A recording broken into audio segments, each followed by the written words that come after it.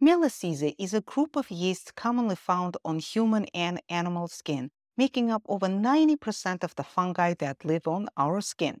If you have seen dandruff, then you have seen Malassezia, as it is linked to a common skin condition that is called seborrheic dermatitis, or dandruff of your face and scalp.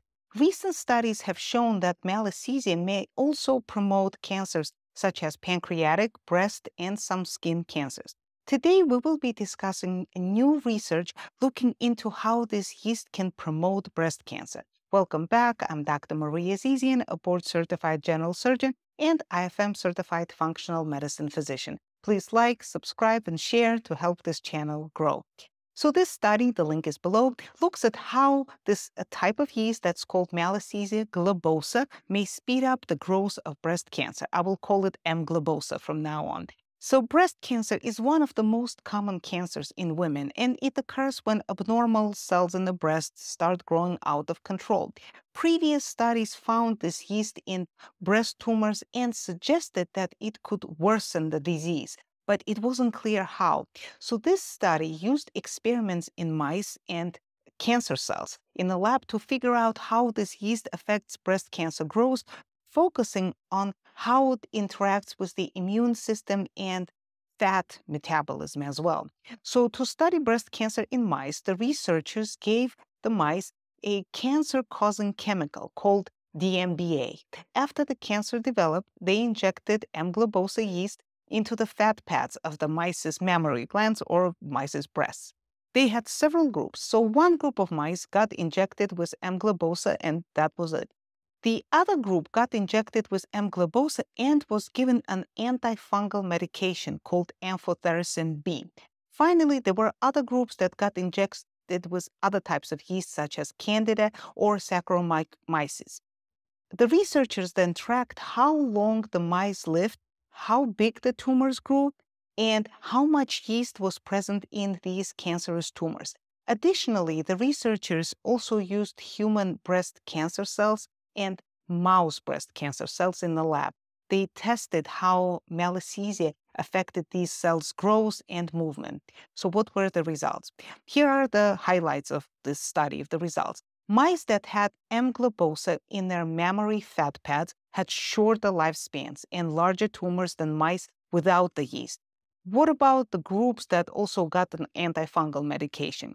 They showed that treating mice with antifungal medication reduced the amount of yeast and the number of tumors, but unfortunately did not extend the mice's survival, which is very important, unfortunately.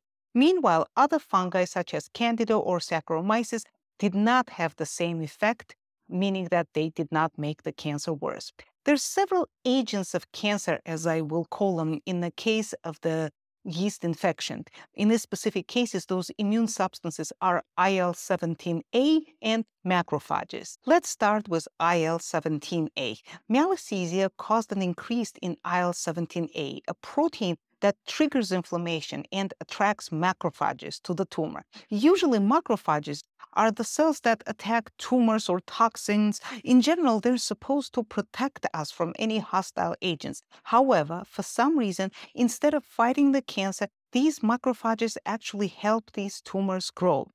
The second aspect is equally interesting. As you may know, breast tissue contains a lot of fat, which Malassezia uses to survive and grow because Malassezia is a fat-loving yeast. The study showed that M. globosa increases the amount of a protein that's called SPHK1 or SPIC1. And that leads to a buildup of fat in tumor cells, this fat buildup helps the tumor grow even more. When the researchers used a technique called siRNA to reduce the amount of SPIC1 in breast cancer cells, the cells had less fat and the tumor growth slowed down. This suggests that SPIC1 plays an important role in how M. globosa makes breast cancer worse. Of course, what we care the most is the therapeutic potential of this study. How can this study help us cure breast cancer. The study suggests that treatments targeting either M. globosa directly itself or the protein it's as, as, as SPIC1 or IL-17 7A could be actually the new targets to slow down the breast cancer. I also want to make a few points. Not every breast cancer Uh, could be presumed to be caused or linked with this malassezia globosa. All of this is a new research. So first of all, each breast cancer has to be tested for the presence of malassezia. Only after it's proved to be connected, then it could be targeted for treatment, targeting SPIC1 or IL-17. And please note that these treatments may or may not be well tolerated. So that's another aspect to think about because they they may be quite toxic for the body. Another point that I would like to make is that our breast is composed of several tissues. There is a glandular tissue, there's connective tissue, and fatty tissue. The percentage of fatty tissue in the breast depends on many things. Depends on genetics, age, on diet, etc.